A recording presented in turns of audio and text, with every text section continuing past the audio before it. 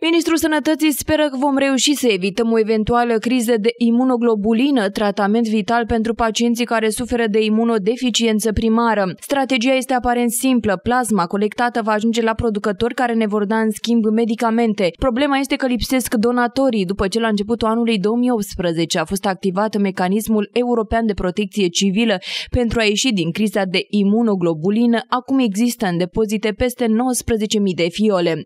Le vor ajunge bolnavilor aflați în tratament pentru următoarele patru luni. Indicațiile pentru administrarea imunoglobulinei cresc, va fi un deficit de 40%.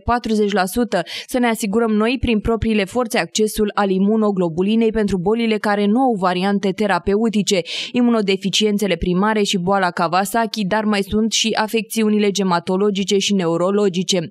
Ministrul Sănătății reorganizează întreaga activitate de transfuzie sanguină și vorbește și despre ridicarea în parteneriat public-privat a unei bănci în care să fie stocată plasma.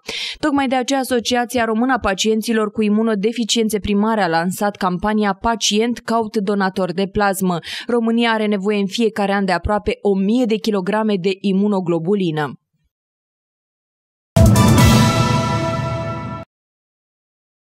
În fiecare zi în România, zeci de mii de elevi sunt agresați verbal și fizic de către colegii lor. Abuzul nu se termină nici atunci când copiii evadează din viața reală, pe internet. Fenomenul cunoscut sub numele de bullying și cyberbullying, când e online, generează tragedii în România. George, în vârstă de 18 ani, a fost găsit mort la marginea orașului după ce s-a spânzurat de creanga unui copac o seară înainte de prima probă a examenului de bacalaureat. Tânărul, provenit dintr-o familie modestă, fusese poreclit zombie.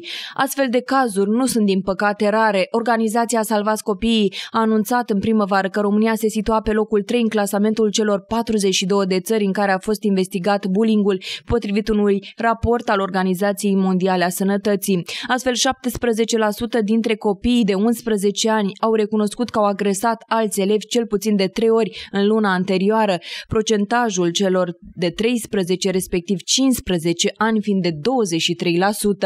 Totodată, datele Salvați Copii arată că 3 din 10 copii sunt excluși din grupul de colegi, 3 din 10 sunt amenințați cu bătaia sau lovirea de către colegi, iar un copil din 4 a fost umilit în fața acestora.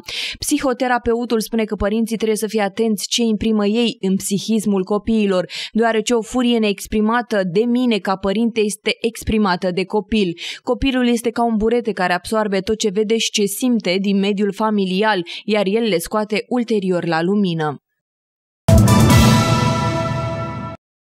În timp ce supermarketurile din țară nu par interesate, afinele românești vor merge la export. Nisipurile din sudul țării sunt favorabile pentru aceste culturi pretențioase, dar care aduc mari beneficii. Fermierii obțin în jur de 7 euro pe kilogram. Ca să ajungă la export, afinele trebuie să îndeplinească anumite condiții, să aibă între 14 și 22 de milimetri, să fie recoltate în lădițe suspendate pentru a nu fi contaminate și în suporți metalici cu umbrar. Depozitarea se face în camere frigorifice.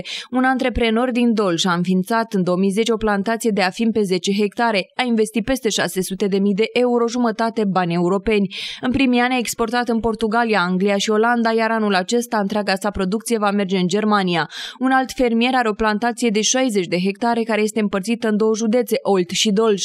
Cam 70 tone de afine se culeg la un hectar, iar străinii le cunosc beneficiile. Potrivit reprezentanților Ministerului Agriculturii, suprafața cultivată cu afine a crescut în ultimii ani de la 128 de hectare are la aproape 183. Cu toate acestea, în hipermarketurile române se vând afine aduse din străinătate. Cele mai multe vin din Spania.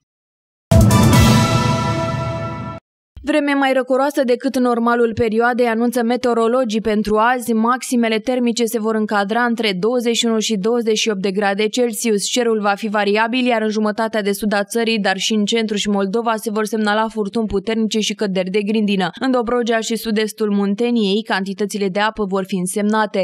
Pe litoral, vremea se anunță instabilă azi cu o maximă de 28 de grade Celsius. Vremea va fi și în următoarele zile răcoroasă, cu temperaturi sub nivelul celor normale maximale pentru luna iulie. Mâine maximele se vor încadra între 19 și 27 de grade și sunt prognozate furtuni în sud, la deal și la munte.